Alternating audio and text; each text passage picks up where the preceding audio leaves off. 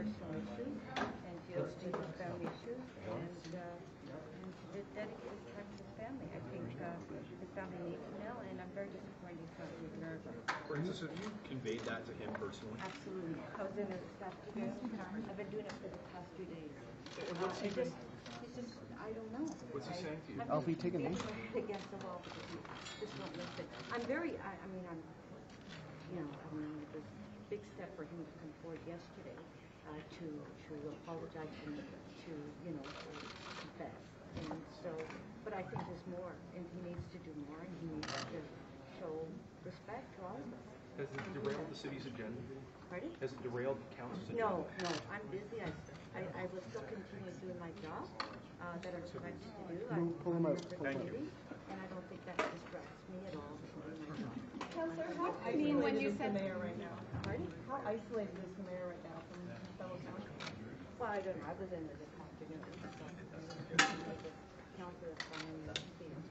But I think we're all trying to give them good advice, and keep- and we're we're trying to give them sound advice as uh, you know supporters. I've supported his agenda for the past two years. He was elected by huge mandate, um, and he's delivered um, his agenda. And but he needs to listen, and he's not listening. And can you talk about that a little more? so my home. Oh, wow. Good song. Yeah, I know. I love the song. I song. love that song. I love the song.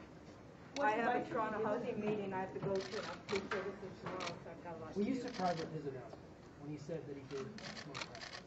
I think we were all surprised, yeah, yeah, but I'm, I'm, I'm pleased that he did, that he did. He finally admitted to it. I think it was good that he did.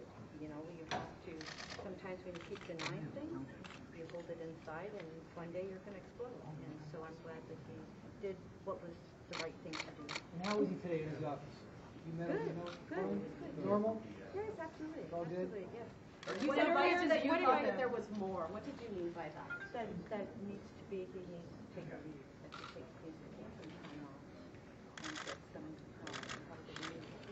Are you frustrated that he's not listening to your advice? I think we're all frustrated. Frances, why, why shouldn't he resign? Why, why just a leave of absence? Pardon? Why shouldn't he resign, given that he's in? No, the- I don't think he should, uh, no, I, he was elected democratically, uh, by the people of Toronto, and I don't think anyone should be forced to resign. I think that he, um, needs to take a leave. Is he in denial? Do you think that he's in denial about the fact that perhaps he had- he may have a problem? No, I think yesterday, the, uh, his admission yesterday, and apologize, I think that he's not in denial. Do you think he's an alcoholic? Yes. Counselor, why are you becoming frustrated with the mayor and the fact he's not listening to the advice that he's being given? Why am I frustrated? Yeah. Because I was hoping he would listen to us as, as strong supporters, that he would listen to us. That's why it frustrates me. But um, there's nothing we can do. We can't. He's the only one that can make the decision on his own. You can't. Uh, you can't force anyone.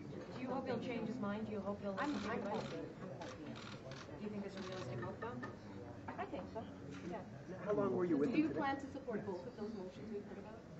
Uh, no, not both of them. No. Can you talk about which one you are? No, which one you not don't? right now. I haven't had a chance actually to review them. Uh, they just landed on my desk this afternoon. Thank you.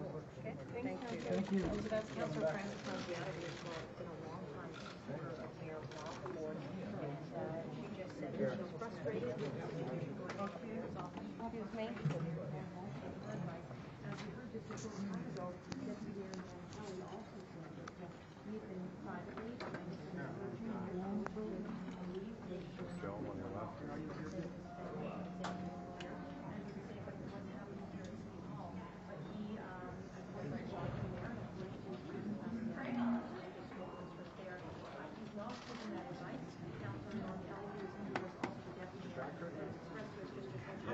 Sure.